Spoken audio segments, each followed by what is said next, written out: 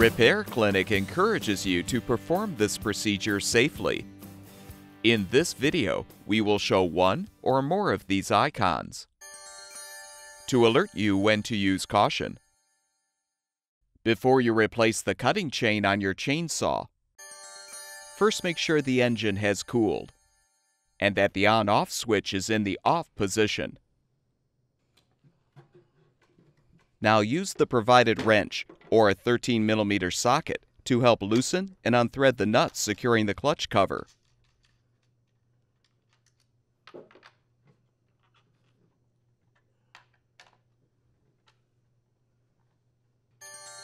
Confirm that the chain brake is disengaged and remove the cover.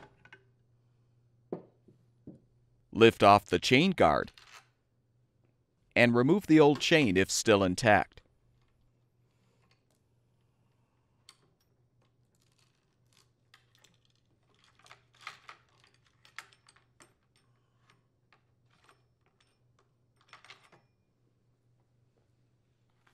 Install the new cutting chain by aligning it on the sprocket and the chain bar.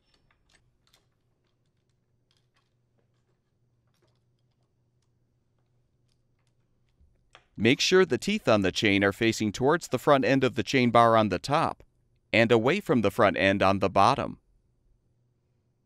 Reposition the chain guard. To replace the clutch cover, the chain tensioner pin will need to be inserted into the hole in the chain bar. You will probably need to rotate the tension adjustment screw counterclockwise to properly align the tensioner pin. With the cover in place, hand tighten the nuts.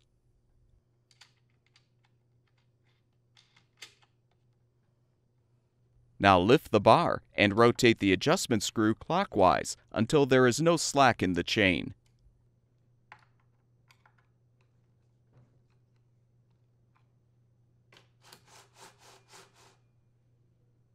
Fully tighten the nuts and confirm that the chain is taut.